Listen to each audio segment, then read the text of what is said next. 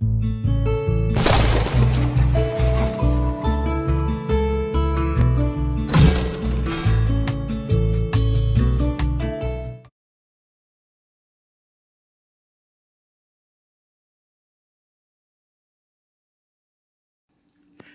pessoal, tudo bem com vocês? Pessoal, no vídeo de hoje eu vou ensinar uma receita bem econômica para vocês. Eu vou ensinar como que se faz olha, o arroz com frango mais econômico do mundo. E para a gente fazer esse nosso arroz com frango, aqui estão os ingredientes que nós vamos utilizar. Alho, arroz, salsinha, cebolinha, coentro. E aqui do lado, olha, eu tenho o meu frango, que eu já fiz ele na, na manteiga. Então nós vamos reaproveitar tudo isso aqui e vamos refazer um, um arroz com frango. E vocês vão ver que vai ser simples, rápido e fácil. Já aproveita, já se inscreve no canal, clica no sininho, escolha a opção todas para receber minhas atualizações todas as vezes que eu postar. Já deixa aquele like.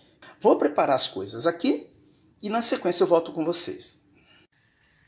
Bom, pessoal, aqui é o seguinte, ó. Falei para vocês que esse aqui é um arroz com frango mais econômico do Brasil, porque do mundo, porque nem a panela você vai precisar de outra. Então, ó, coloquei as coisas aqui para esquentar. Agora nós vamos colocar o alho aqui dentro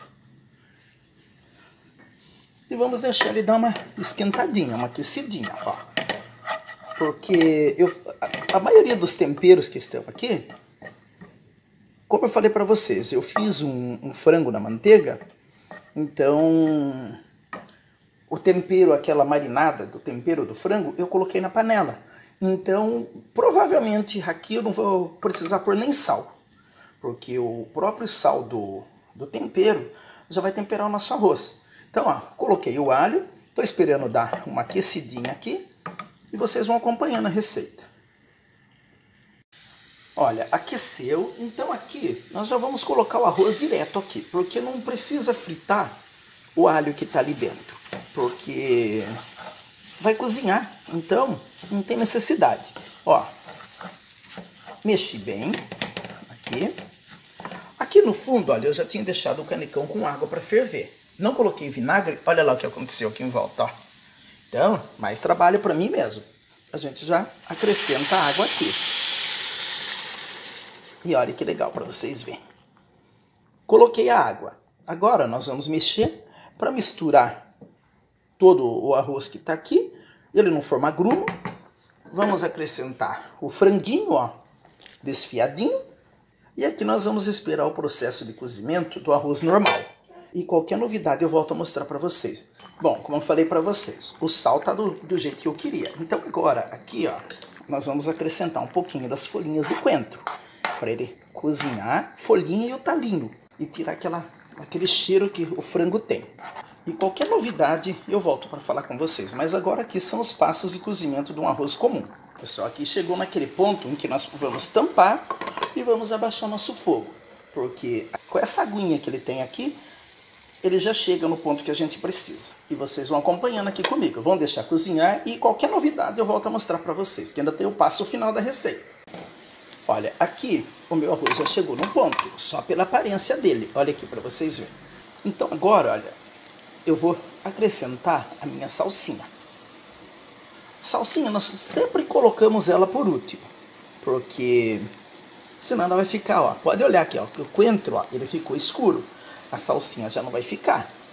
Porque eu cozinhei ela junto com o arroz. O coentro junto com o arroz.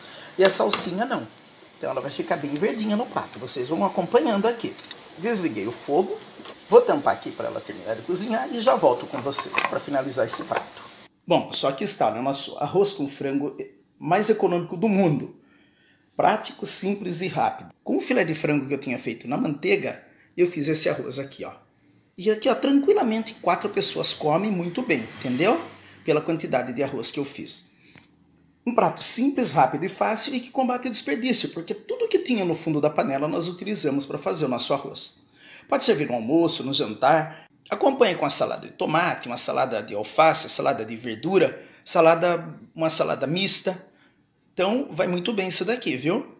E o legal é que você não precisa fazer outra mistura, porque o próprio frango, ó, olha aqui para vocês verem, já está no meio da, da, da, O próprio frango já está no meio da comida e você não precisa fazer uma outra carne. Gostou da receita? dá um like, se inscreve no canal, clica no sininho, escolhe a opção todas para receber minhas atualizações todas as vezes que eu postar.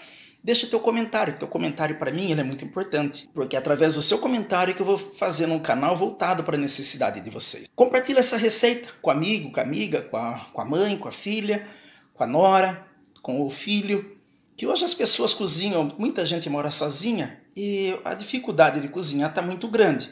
A comida está tão cara para comprar, então compartilha. Ajuda a economizar dinheiro também, né? E dá uma força para mim, porque é através do compartilhamento que o YouTube vai entendendo que vocês estão gostando das minhas receitas. Me sigam nas redes sociais, Instagram Simples Saboroso, no Facebook Simples Saboroso. Simples Saboroso, o canal que ensina a cozinhar passo a passo. Obrigado e até a próxima receita.